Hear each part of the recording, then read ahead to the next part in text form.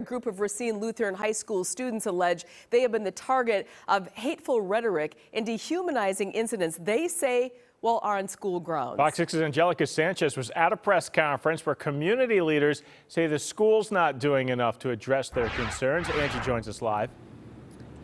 And I immediately want to point out we have yet to hear from the school on the allegations that were made this morning. But seniors that we spoke with, they just want to see some meaningful change before they graduate.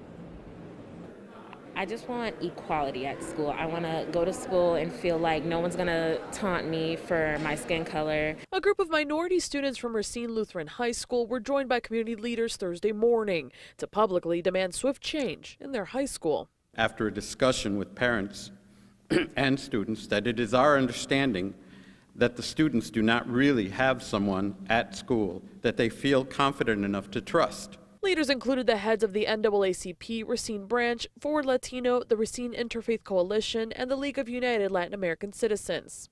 The issue here is not just one incident, but a series of incidences that have occurred over the years.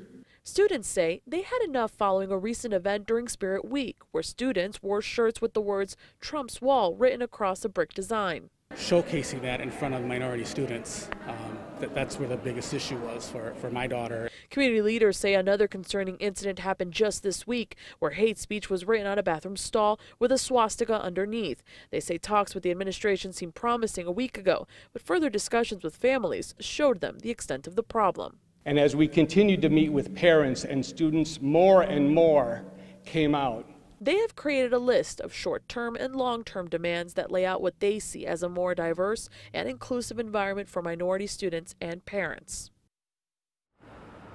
Now, Fox 6 reached out to the school's principal multiple times today. We were told that he was in a meeting. So, as soon as we hear back with a response, we will update the story both on air and online. Reporting live in Racine tonight, Angelica Sanchez, Fox 6 News. Angelica, thank you.